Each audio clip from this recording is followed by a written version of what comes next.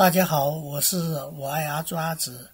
今天是一，今天是二零一九年六月一号，这是我做的第二期节目。今天我主要是读一篇文章，这篇文章也是以前写的哈。这篇文章题目叫《呃，傅西秋远志明及掌权者绝密的基督教和谐计划》。呃，这篇文章呢是大概是二零一二年我。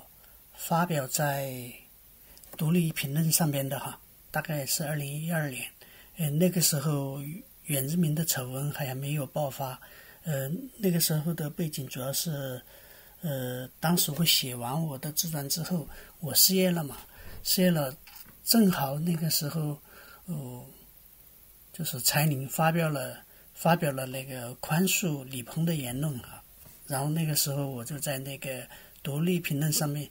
主要是去发那个远志明的旧金山共识这个异端文件，主要是揭露远志明的这个异端的文件。诶，那个时候，呃，柴宁也还没说他被强奸的事情哈，当然就更没有，呃，远志明，呃，后来的他的丑闻被曝光哈，因为那个时候还早，因为柴宁大概是第三年，第一年、第二年、第三年才说他要被强奸的事情哈，那个时候大家都不知道。好，然后我开始读这篇文章。我觉得我边读边解释可能更好一些。呃，因为我当时在为什么在那个上面去发表文章啊？因为主要是那些基督徒论坛就封杀我的言论哈。然后那些人一看见我就说：“哎呀，这是七千人教会论坛来的哈，大家封杀他。”呃，然后都躲躲避，然后就把我给删掉了哈。那个时候有一个网站叫做旷野论坛大概是呃。呃，封杀我，然后把我的帖子哈，只要一质疑原志明，就把我的帖子给隐隐藏到其他地方去了。然后还有一个呃，叫做彩虹之约啊，也是，只要一提，那就把我封掉哈。嗯，彩虹之约当然现在比较清楚了，它是多维办的哈，它好像它的那个版主是白鸽子哈，这些都是参加了旧金山共识的。呃，它是多维的，多维现在是比较清楚哈。当时我也是后来才知道哈，多维是呃共产党的大外宣的报纸哈。所以说那个论坛能在那儿存活下来，当然也是和那些大外宣是有很大的关系哈。所以说我当时就没有办法，就只有在那个政治论坛哈，因为这个事情，呃，的确，呃，这个和谐控制计划是横跨基督教和呃政坛的。一个计划哈，它不单是基督教的和谐控制计划，它呃最主要的瞄准是为了达到政治的目的，所以我当时也在上面去揭露远志明的旧金山共识。呃，那个时候离远志明的旧金山共识发表已经好几年了哈，嗯，但是大家都在掩盖这个事情。远志明呃发表之后就被安立为牧师哈，这个这是这在。呃，我写这篇文章之前发生的是，远志明被安利为安立为牧师是二零呃零九年，大概是旧金山公司发表一年之后。好，现在我开始读傅西秋远志明及掌权者绝密的基督教和谐计划。二零零八年十二月八日，旧金山特会通过了旧金山共识。根据事后任不寐。及中国福音会的李大卫牧师和远志明的通信，可以看出这个共识是以欺骗的方式通过的。许多基督徒都上当受骗了。从李大卫牧师发表在任不寐的博客“请收回旧金山共识”可以看出，任何李都没有意识到旧金山共识的严重错误，只是单单认为通过程序错误，不该用和谐这个词等。好，我现在解释一下这个，呃，李大卫牧师。呃，他是中国福音会下边的哈，嗯，中国福音会下边的，呃，当时我是在呃博讯上面看见他，那个是二零刚发表不久，就是二零零八年以后。呃，不久吧，十二月多少号的时候哈，就是在旧金公司发表以后，我看见李大卫发表了他的请收回旧金共识，发表在博讯上面哈。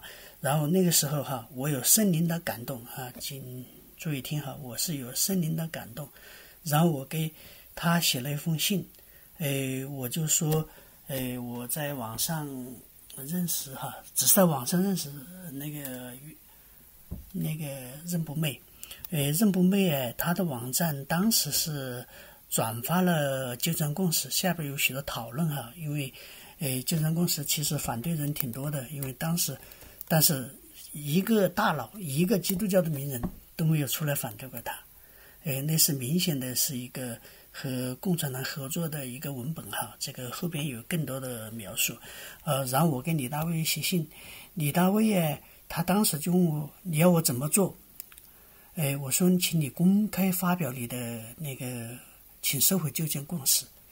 哎，然后，然后我又说了，我在网上知道那个任不寐，任不寐在讨论那个旧建共识啊。后来他就的确就发表在那个呃任不寐的博客上。嗯，当然他是不是听了我的劝，那我不知道了。反正我是给他写过这信，我不知道现在李大卫看没看过我这篇正在读的这篇文章，或者我。现在正在做这个节目啊，他看不看哈？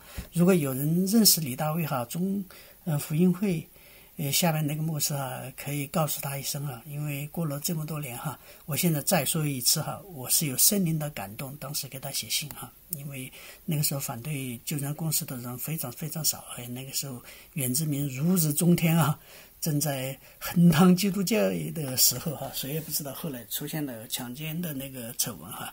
呃，他都彻底暴露到他，呃，披着羊皮的狼的本色。好，然后再说一下任不寐哈，任不寐，呃，在这之前，他虽然的确发表了旧章共识，他也不怎么呃认同旧章共识哈，但是他没有看到旧章共识的呃严重错误哈。因为当然也有也有可能看见了，只是他没，只是他没有说出来。呃，任不美后来哈，他是支持袁志明的哈，袁志明的强奸丑闻出来之后，他其实是支持他的。任不美当然还有其他的严重错误，他有点想，他还批评那个王明道哈，呃，王明道，因为王明道指责那些换奸淫的啊。或者这些哈，而且他还试图，我感觉他有点想替代王明道的角色，那其实是给袁志明一样哈，还有给王毅一样，王毅啊，王毅还写了九十五条，他还还他还想和那个马丁路德比肩哈，哎，这些人反正都是呃有严重的问题啊，最根本的问题任不寐哈，我提一下任不寐哈，他是支持那个袁志明的。我现在这里提一下，因为后边我会再说说到他哈。任不寐以前我是呃很看好他，也他对我的影响也比较大，所以说我要得出这个结论对我来说也是很困难的。其中当然也包括那个陈格哈，陈格也是哈，呃这些都是有严重问题的一些牧师，他们。对旧金山共识的认识有严重的错误。陈格当然他是完全说他不懂旧金山共识。作为一个牧师，他不懂旧金山共识，其实就已经失去了，呃，教导人的能力哈。也就是上帝把他的这种教导人、教导人的能力给拿掉了。当然，他们现在还在骗人啊，这是另外的事情。我过会儿再结束说。我接着读，从范学德的旧金山特会密文可以看出，是温哥。温哥华信友会的洪宇健牧师主要修改原志明的原稿，赵晓加了一句，王乙加了一句，就构成了现在旧金山共识的样子。赵晓就是高房价就是爱国的那个经济学家，而王乙就是和于杰隐形不离的人。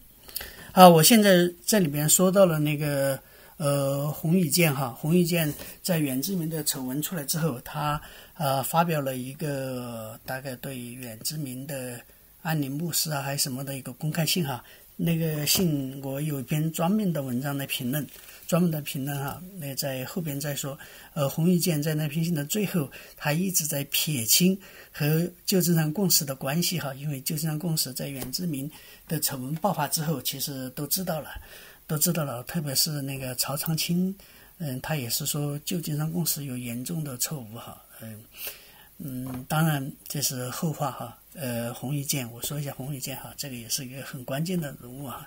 啊，然后再说一下赵晓啊，赵晓他是旧金山公司的推手之一，有两个主要的推手，一个是呃，一个是刘通书，一个是赵晓哈。嗯，赵晓呃，他还说他自己说或者是别人说，或者是谣传，他自己说是误传。他说他是温家宝的秘书哈，可能都是假的，这些都是骗人的。但是他是官方背景，这是毫无疑问的哈。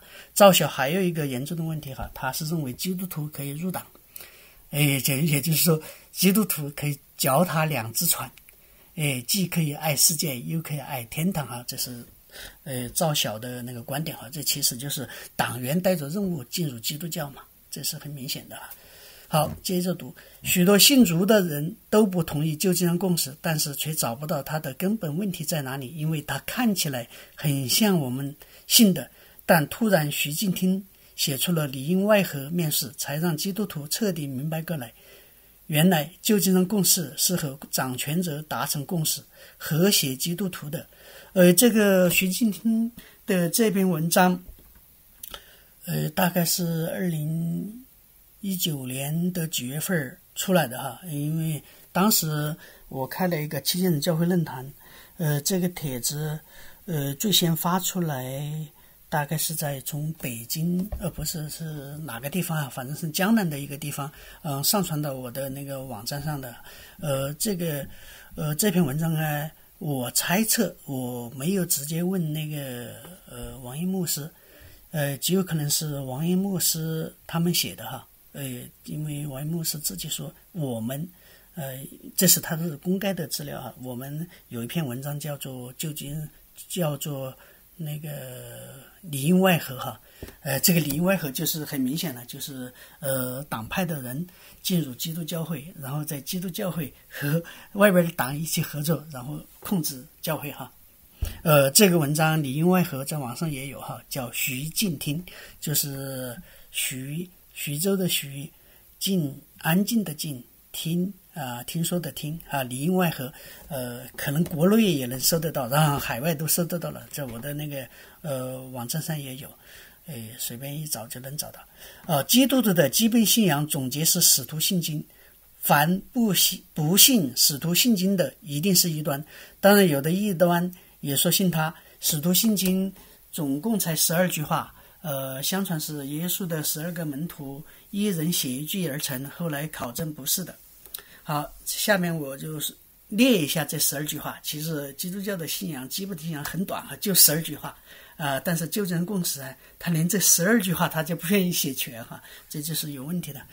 第一，我信上帝全能的父，创造天地的主；二，我信主耶稣基督，上帝的独生子；三。因圣灵感孕，从童贞女玛利亚所生，是在本丢比拉多手下受难，受难，被钉在十字架上，受死埋葬。五，将在阴间，第三天从死里复活。六，他升天，坐在全能上帝的右边。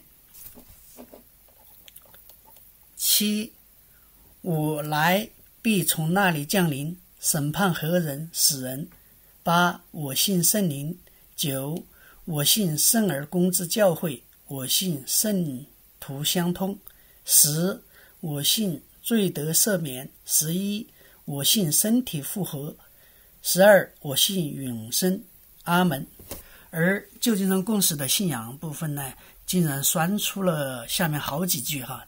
第三，因圣灵感孕，从童贞女玛利亚所生。呃，第六，他升天，坐在全能父上帝的右边。七，将来必从必从那里降临，审判何人？死人。十一，我信身体复活。十二，我信永生。阿门。啊，也就是说，十二条他删掉了一条、两条、三条、四条、五条，哈，五条都删掉了。特别是那个从那个呃，从那个。呃，李大卫的描述里边看哈，当时有一个人，呃，叫什么？叫什么哈？我有点记不太清楚了啊。啊，到时咱们以后会慢慢提到他。他是特别想加上，呃，从圣灵感孕，从童贞女玛利亚所生啊。然后袁志明还是给他拒绝了，没有加这句话啊。呃，为什么删除这句话呀？原因很简单，这句话全部是有关神迹的。哎，比如说童女生子。那个当然就是神迹啊！呃，按照现代人，那肯定是一男一女才会生小孩儿。一个人没有丈夫怎么会生小孩呢？那个就是神迹啊！当然，这个这个无无神论肯定不会相信这句话。呃，这句话这几句话全是有关神迹的，和掌权者的无神论观点不一致。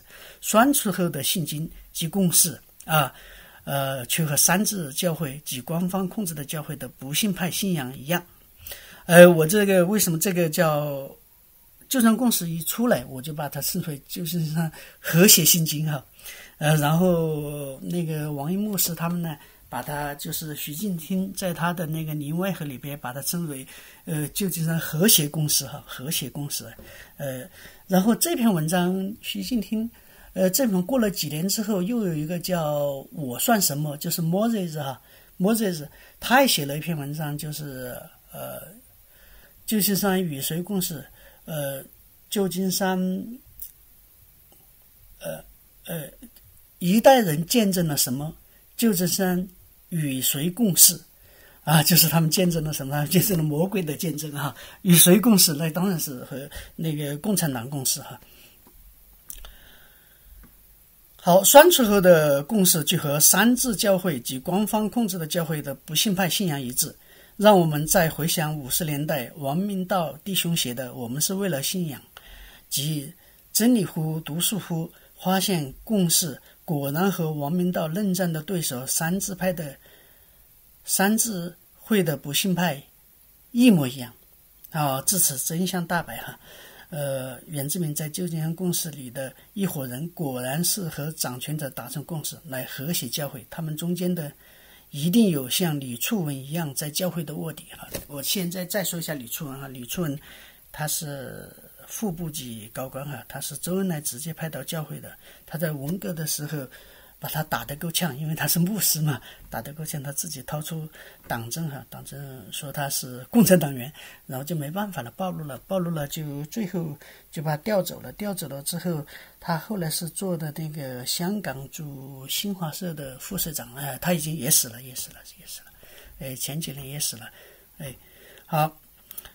然后我再说一下那个呃前边呃王明道哈，王明道可能许多人不太清楚哈，王明道你们可以查一下网站哈，他是呃中国四九年以后第一个呃因为信仰坐牢的哈，他是第一个呃反革命集团的第一个宗教方面的反革命集团，哎。对，在维基百科你们可以看得到哈，呃，当然那个呃，共产党为了打击基督教嘛，就把它定为反革命了，这是很明显的。我们到后来一直他的活着就是见证，他一直活了九十多岁哈，嗯，九几年才去世吧。啊，至此真相大白，远志明在旧金山共识。的一伙人果然在和掌权者达成共识，来和谐教会。他们中间一定有像李处文一样在教会的卧底啊！其实是呃许多人呢，那里面的名单是十七个还是十八个？那后边我会说到他们的名单哈。这是都是他们发表旧金山共识之后，呃的时候附送的那个名单哈。里边许多人啊，许多人那都是党的人啊。让我们再回想这个计划的开始，其实很早了，只是显露在这个时候。二零零六年六月，王怡、于杰等三人见布什。白宫新闻说的是见自由人权斗士。嗯，教外的事情不太清楚啊，应该是用的这个词啊。他们在民运圈里边用的词不一样，但是在教会这个圈用的又又不一样。可是，一到中文新闻哈，我的确是查了那个呃英文新闻，英文的确是写的是见人权斗士。但是啊，到了中文的新闻的时候啊，就变成了见基督徒，哎，这就是做新闻啊，这就是做新闻。和谐计划开始了，人为制造基督徒明星啊，然后再加上人权的外衣，骗信主的小孩子，是不是易如反掌吗？这时明白的人不多。归正中、唐崇荣牧师支持他们。二零零七年十一月。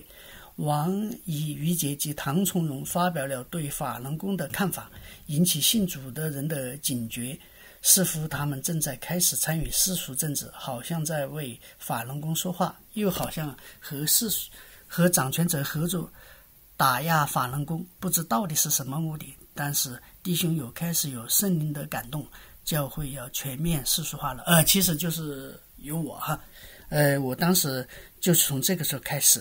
哎，感觉他们是有些问题了，有些问题，哎哎，然后后边当然都显就一步一步的发生哈，就验证我的感动，啊，当然，嗯，最后那个时候很早，就是这个时候，原住民的丑闻也没有爆发，唐崇荣的呃同性恋的丑闻也没有爆发，啊，那个时候真的要反对他们是很难的，我是，哎，你们去可以看我的那个呃自传。哎，那个心理压力是非常大，因为他们的名气是太大了。哎，那是一帮人，这就是绩效回顾，哈，就是每当有十个人对你说你有病，那么你自己就会觉得自己有病。哎，就是因为一大部分都是这么说，没有一个人当时支持我。当然，我当我在这个独立评论发了这些文章之后啊，当时有一个人来支持我，呃，就是。我后面会提到他，就是我上期在说他写了一篇文章哈，那里边他就说我，他说你不要在乎世俗上的赞美，哎，他说你上帝会纪念你，大致就这个意思。我以后会读他的那篇文章。他当时是在网上唯一一个很赞同我的看法的人，不过他当时呃对呃呃不太赞同我对于任不昧的看法。嗯，那个时候任不昧，因为那个时候袁志明的强奸案还没有爆发嘛。呃，其实我是对任不妹有一些看法的，但是我其实是在验证哈。当然，呃，袁志明的呃丑闻爆发之后，他支持袁志明，那就完全被证明了。好，二零零八年，二零零八年五月，地震发生在呃王乙于杰的老家四川哈，巧合，不幸的人当然认为是这样哈。二零零九年八月，呃，唐崇文丑闻全面爆发。所有的丑闻中，傅西秋进入视线。原来，傅牧师是唐崇荣国际归正团的，是他策划了王怡于杰。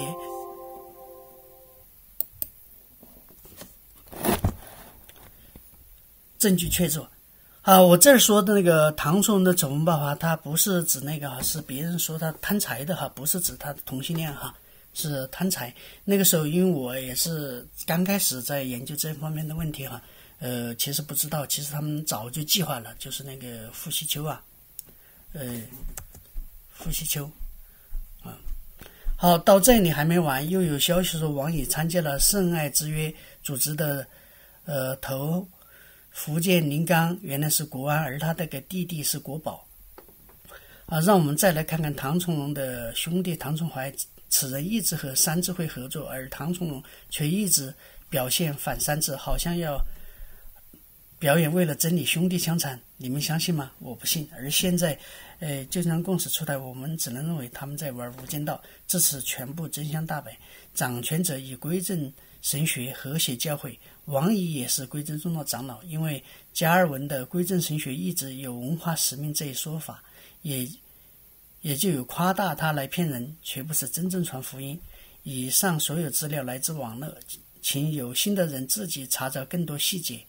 奉劝各位民运大神、和谐大神以及各种意义大仙们，不要来玩儿，不要来教会玩神，惹动神的怒气，要要使很多人中国人争产，求你们悔改吧！